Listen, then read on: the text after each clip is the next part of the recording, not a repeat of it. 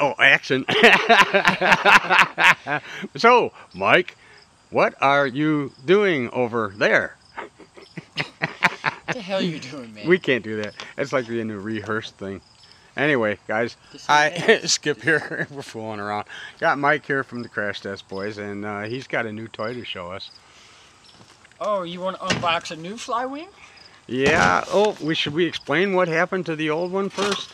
You can, Oh, since you figured it out. yeah. Well, Mike had a, you know, he bought the uh, the other 450 V2. V2, the version 2.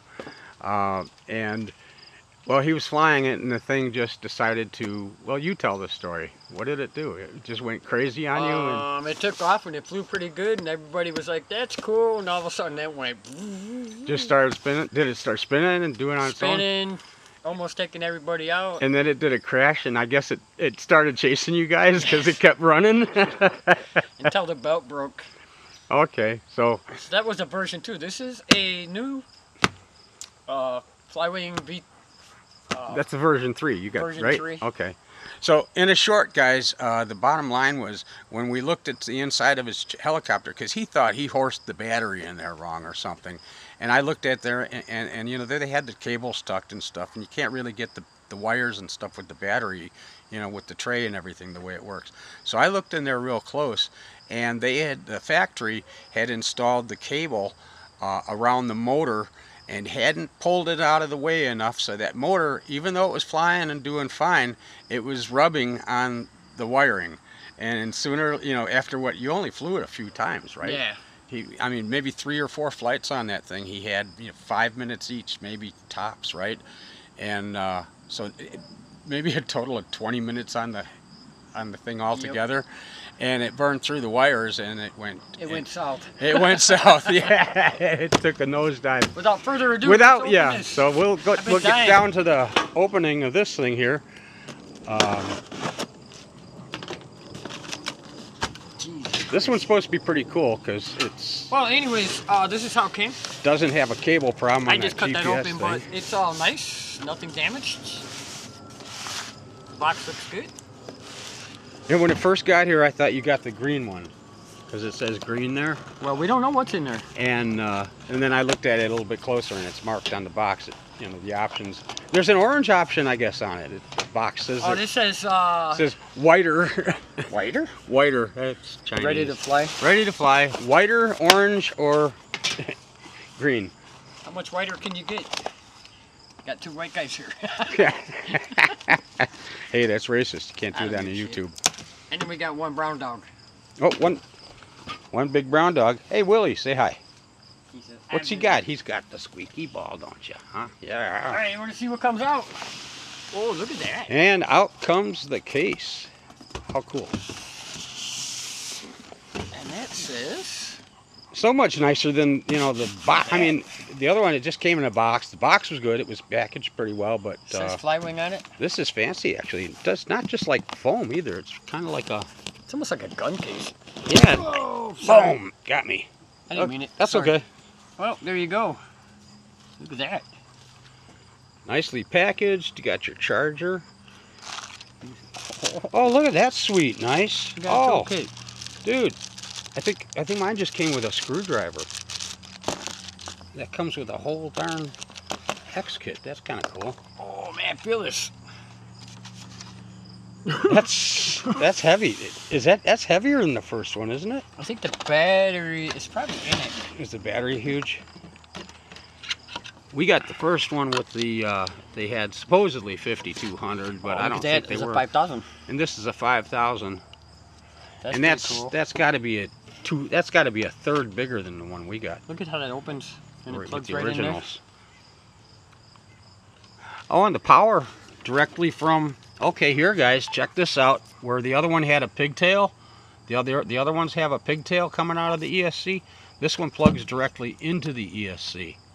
That's cool. I like that. That's kind of cool. Yeah. Less wires to snag and come loose and, and tear. I like Oh. that idea. I like the the hood. What else we got? Uh, got radio. Is that the quick release up here? That no, they No, don't, I wish it just- was. Oh, they're not, huh? I thought they were going to put the quick release on the uh, the new ones. It's got a one-way bearing. though. Maybe some of the new ones are getting the quick release. I don't know. But yeah, that's a hard plastic Oh, I like that too. shell. Oh, and it comes with a blade, blade, blade holder. Cool. Oh, what else we got? Instructions. Now I wondered if you have to, uh, do you have to calibrate this one or? I'm not sure because we can go back and forth on that one. Oh, look at this. So it comes with a quick start guide, radio. Feel that? Is it, that boom a little bit different too, isn't it? I think it's longer. It's longer and I think it's it's redesigned. It's a different kind of a different shape, isn't it? Say. Hold on, let me grab one of the other ones real quick. I'll be right back. Okay, that's Are we on? yeah, we're on. Yeah, it's a little bit different. This is where it's got the ribbed design. This one's longer. This that is a little bit longer, isn't it? Just uh Well, it's about the same. It's about the same. Yeah, maybe. The motors are different though. Motors are different. That looks like a smaller motor, but a bigger blade. Smaller motor, bigger blade, And and the GPS ain't on there, weird, weird tips on the end. right? Yeah, it's probably for the noise, because they, were doing something about the noise and that. stuff. Um, also, I researched this, and this will accept a 6S battery. It'll go Yes. what 3S through 6S, huh? 4S to 6. 4S to 6S. They said this. Just pops in. Bada bing, bada boom.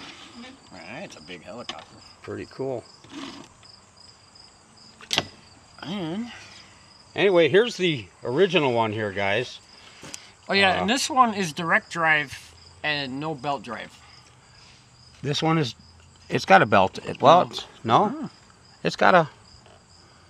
Oh, it is a. It's a direct drive. It is direct drive, no belt. Mm-hmm. Hey, that's cool, guys. Check that out. Direct drive on this one. This one used to have a belt. Plastic spool Thank God it. the belt broke before it Plastic killed us all. Yeah. Now, getting to uh, what I was talking about here, guys.